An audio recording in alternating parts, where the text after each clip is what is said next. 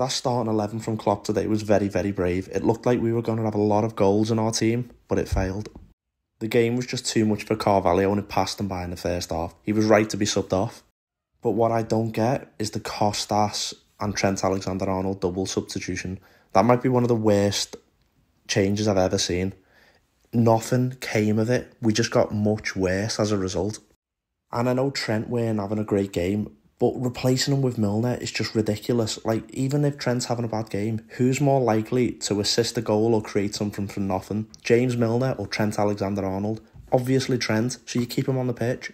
And this season, there seems to be a tactical switch with Salah. He's playing so wide and far away from the goal. It's obviously a thing that we've agreed on this summer to compensate for Nunez, but it needs to stop and it needs to stop right now. Mo Salah is our most dangerous attacking player, so get him near the goal. A positive was Firmino. He was really, really good when he came on. Nunez is quite concerning, but it's his first game back for a while, so I don't know. We're just going to have to wait and see with Nunez, but he was not good today.